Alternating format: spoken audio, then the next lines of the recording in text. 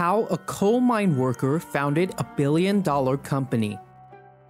Expect more, pay less is Target Corporation's motto, and they have never failed to deliver the same to their customers. They are America's second largest retail store chain today, gaining its title after running the business for more than a century.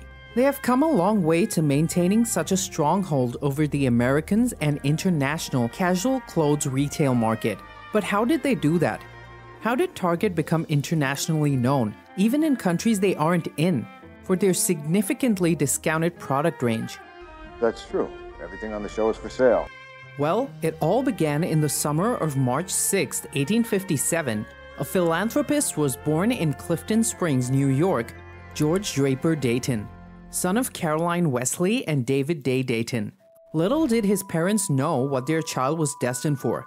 His family was one of average means and earned just enough to sustain day to day needs and wants. We all had dreams of what we would want to become when we grew up, and so did George. He wanted to become a minister, but instead was lured into the business world. Growing up, his life was filled with struggles. As a child, he was an opponent of slavery, whose New York home was a stomp on the Underground Railway for slaves to flee into Canada. His father was a compassionate doctor, a physician in New York State who served the poor for free. His father's generosity couldn't pay for his future, so Dayton set off on his own in 1873 at the mere age of 16 to work in a coal and lumber yard. He was a workaholic and did whatever it took to earn, even if it meant ignoring his health. well, yeah, I don't, I don't care. Worries. In 1878, he married a beautiful lady named Emma Chadwick in the Presbyterian Church. I'm sure many of you are wondering why I mentioned the church's name specifically. Later on in the video, you shall see how George's connection with the Presbyterian Church proved to be instrumental to the rise of his Dayton company, presently known as Target Corporation. Most people at his age would dream to open a store in a place like Minnesota, but not George. He wanted a bank. When he came to western Minnesota at the age of 24, George became a banker. In the decades following the Civil War, the upper Midwest was being settled by a tide of European immigrants German, Scandinavian, and Irish. It was a hard life, but sufficiently full of promise to attract a group of East Coast real estate investors. Impressed by the business acumen of George, the East Coast real estate investors sent him to Worthington, Minnesota in 1881 to manage their affairs. George did quickly recognize the opportunities his new situation presented, and within two years, he purchased a bank and moved his wife Emma and their young children to Worthington. George prospered and became a pillar of the community, an elder in the Presbyterian Church, and tireless. I'm a self made man. Essentially self educated, he had boundless energy and a gift for analyzing economic trends. With a strong religious faith, devotion to his family, and a heavy passion for real estate, he was all the more attracted to Minneapolis. Less than 50 years old at the turn of the century, the city's population had grown to 200,000. It was already a bustling center for lumber and wheat. George, convinced that it was time to diversify his bank's rural holdings with some urban real estate, studied the commercial possibilities at Minneapolis. Oh, you said you're going to diversify and all that stuff. Mm-hmm. He sized up the opportunities of the main thoroughfare, standing on various corners of Nicollet Avenue and accounting the passers-by. It was market research at its most basic level, and it led George to selecting what would one day become the most valuable real estate in the city of Minneapolis. But he built First and Sixth at Nicollet, an office building intended for doctors. Construction had already begun when the Panic of 1893 hit a term given for the serious economic depression of 1893. In Worthington, there was a run on the bank, and George Dayton felt compelled to notify his contractors in Minneapolis of his precarious situation. But their faith in George as a man who paid his debts was steadfast. The bank survived, the building at 6th and Nicollet went up. George then turned his attention to 7th, where Westminster Presbyterian Church had once stood. The church had burned to the ground, for which reasons remain unknown. But George bought the property for $165,000 and started building. He soon moved to town in 1901 and brought his family in the following year. One thing he refused to leave behind was his roll-top desk from the office. But unlike most of the year behind the table, the news that crossed over was not encouraging.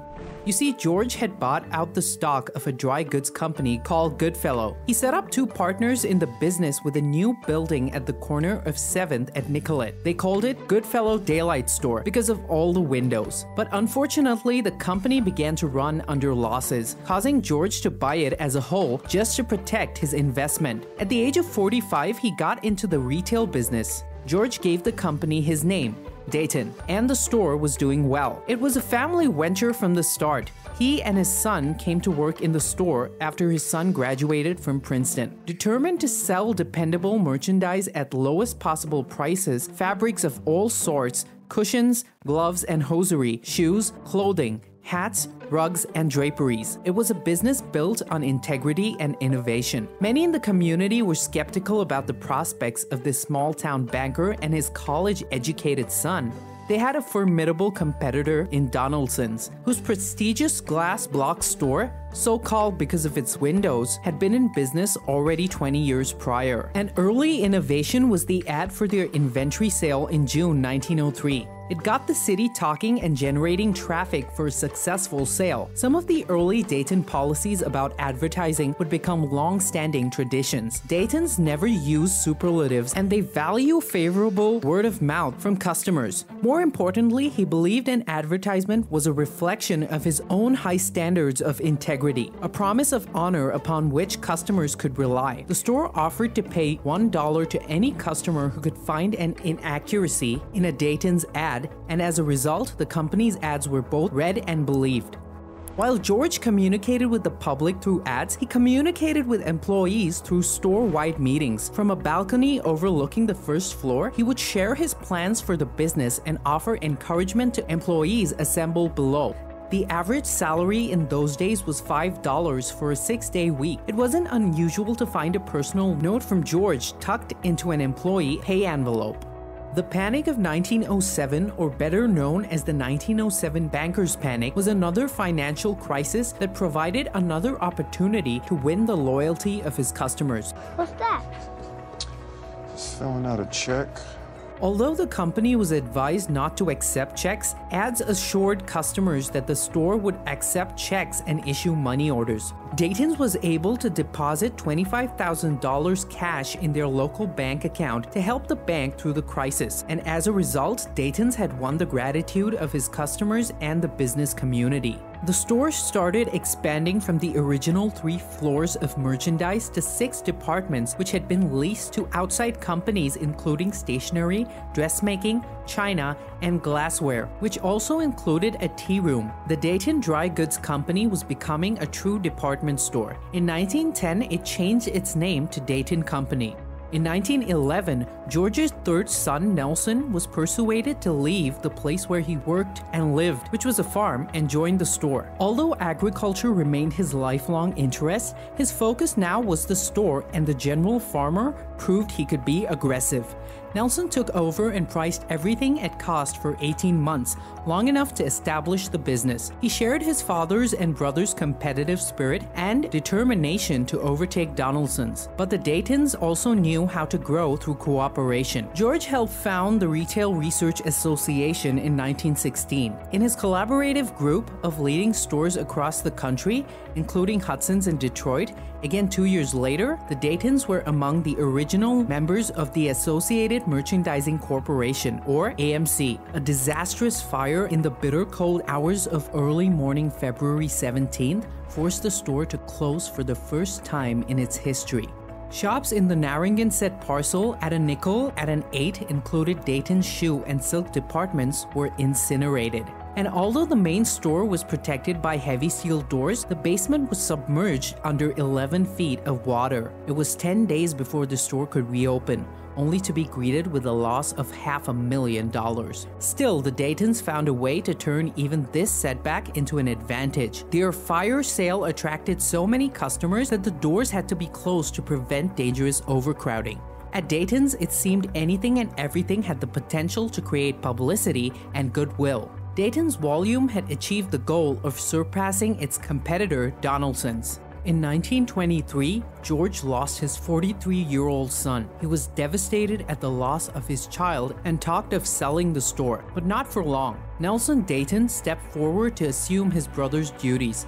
He acted to protect the store from becoming dependent again upon anyone. Nelson set out to build the strongest team of executives in the department store field. Like all family members, he began his career on the selling floor. His cousin George Dayton II had preceded him into business by nine years. The third generation of Daytons would build on that grandfather's grief at the age of 81, never having officially retired from the store. George Draper Dayton died on February 18, 1938.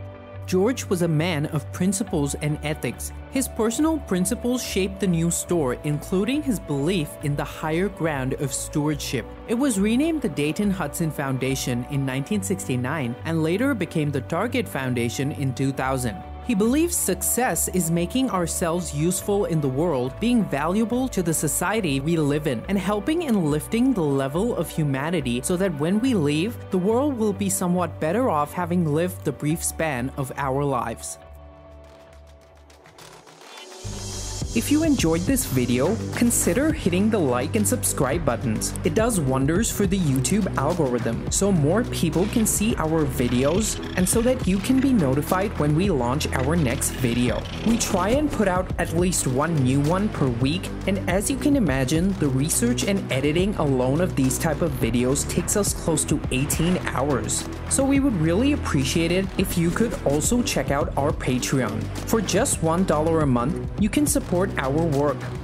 We produce over 12 videos per month, so that is literally 8 cents per video.